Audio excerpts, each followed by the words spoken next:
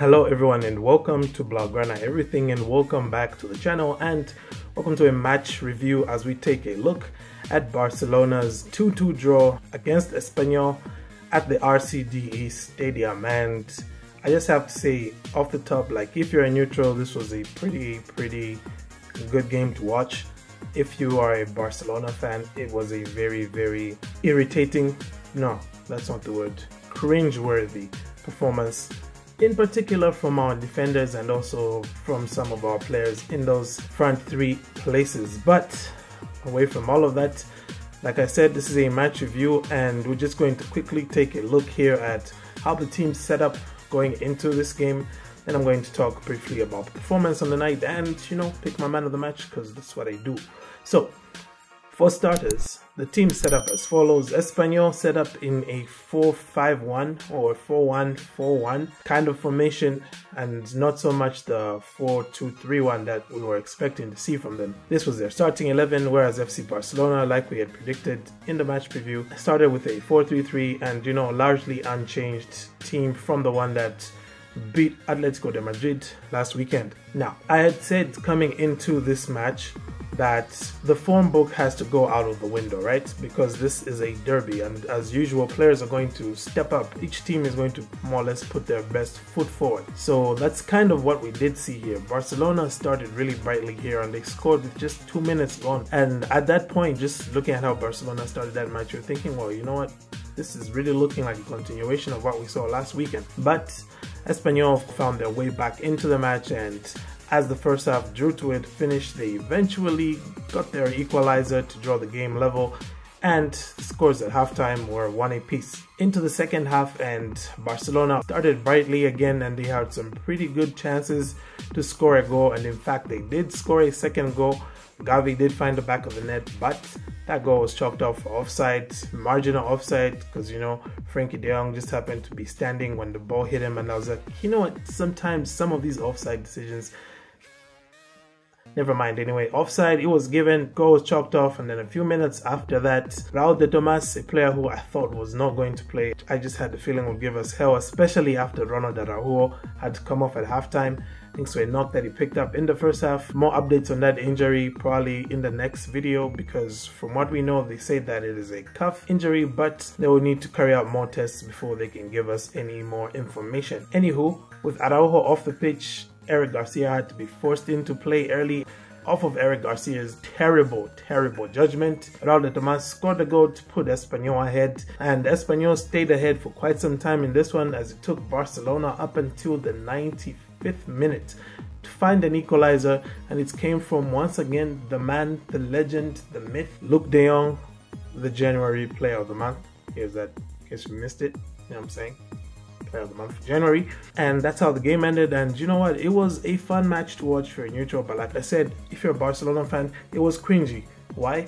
Because first of all, both of these goals Barcelona conceded were really, really cheap and really shouldn't have been conceded. Now I know you're going to say, well, Espanyol say the same thing because they lost track of Pedri and then you know they failed to win a header 3v1 against Luuk de Jong. But you know, Luuk de Jong is a god of heading the ball. You know what I'm saying? And that was a brilliant cross as well from Jordi Alba for that Pedri goal. But the issue here with Barcelona is leading up to Espanyol's first goal, Marc-Andre ter Stegen just literally gave the ball away for no apparent reason.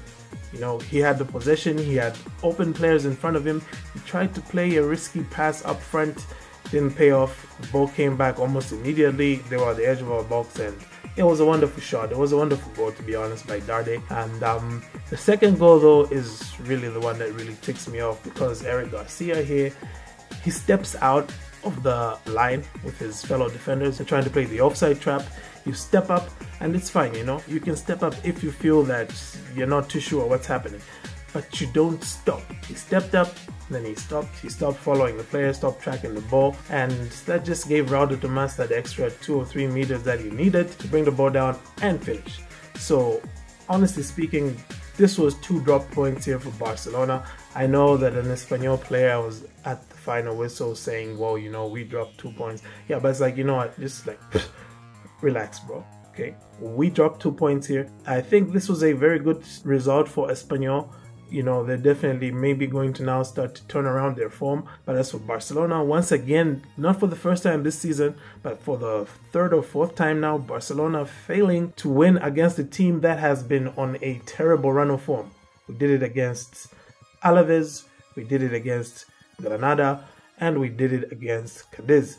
So Barcelona really need to work on their finishing in particular. I thought that Ferran Torres should have at least buried one of those headed chances that he had. He had about three or four of them. Other than that, uh, another brilliant performance by Adama Traore, another assist for him, and that was great to see. I'm a bit concerned, a bit worried about the match that's coming up against Valencia because we do not have a fit center back or an unsuspended center back. Piqué will be serving a suspension.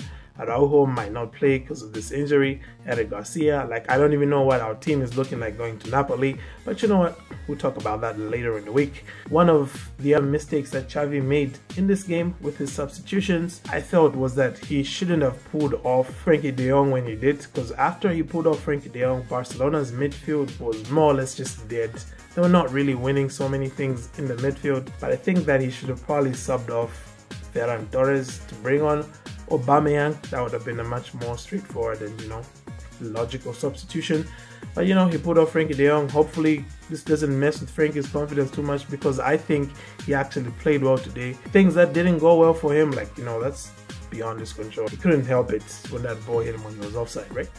Anyway, all that's left for me now to do is give you my man of the match. And it was a pretty tough one to call here, but I want to give it to Pedri because I thought that he was pretty pretty decisive for Barcelona going forward. And you know what? I'm giving it to Pedri. Pedri is Barcelona's man of the match for this game. It's either him or Adama or Luuk de Jong. You take your pick. I'm going with Pedri. Thank you once again for tuning in. I hope to see you soon in my match preview for Napoli. If not, then you'll see me in a match review for Napoli. I'm not sure how much time I will have. Thank you once again for tuning in. Have a great day and Forza Barça.